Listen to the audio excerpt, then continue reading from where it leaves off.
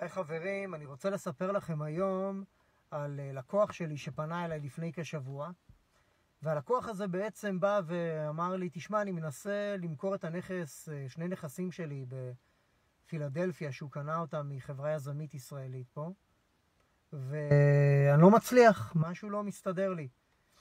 ואז אה, בעקבות זה התחלתי לבדוק את הנכסים ואז גילינו שני דברים. אחד, שהיה אמור להתבצע שיפוץ בנכ... בנכסים ולא התבצע. דבר שני, שהמחיר של נכס שהוא קנה אותו, הוא היה מחיר גבוה יותר ממחיר השוק, ומה שזה אומר שהוא בעצם הפסיד פעמיים, גם בגלל השיפוץ שלא התבצע דה פקטו בשטח, וגם בגלל שהוא קנה מעל מחיר השוק. הפסיד פעמיים. אז איך בעצם אנחנו uh, מטפלים בדברים האלה? איך אנחנו בעצם מונעים או, או, או גורמים לכך ש, שדברים כאלה לא, לא יקרו לנו? אז קודם כל לגבי השיפוץ, איך אנחנו עושים את זה לגבי השיפוץ? Uh, מה שאנחנו עושים לגבי השיפוץ זה קודם כל, ברגע שמסתיים השיפוץ, אנחנו מבקשים uh, בדק. בדק זה נקרא Home Inspection של הנכס אחרי השיפוץ. אתה מקבל דוח מפורט עם צילומים וכיוצא בזה. שבו אתה מבין בעצם מה המצב של, אה, של הנכס שלך, אוקיי? וזה ה, המקרה הראשון. המקרה השני שאפשר לטפל בו, שזה בעצם איך אני יודע שאני לא קונה מעל מחיר השוק, אז צריך לבצע אה, מחקר.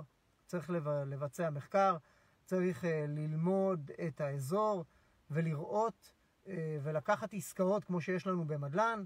אז יש הרבה מקומות בארצות הברית, כל מיני uh, אתרים למיניהם, שבהם אתה יכול למצוא בכמה נמכרו נכסים.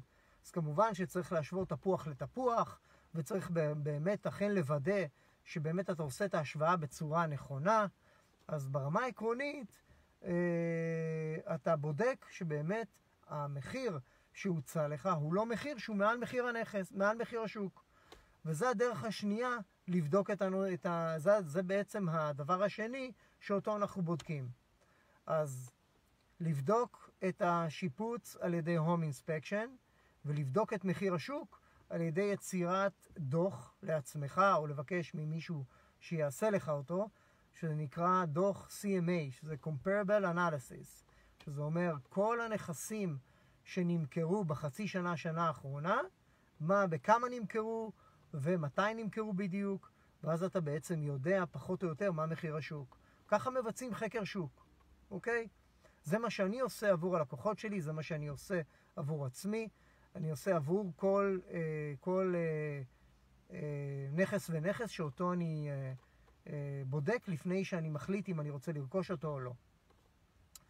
אז זה הכל להיום, ושלא יעבדו עליכם, ושיהיה לכם המשך יום נעים. ביי ביי.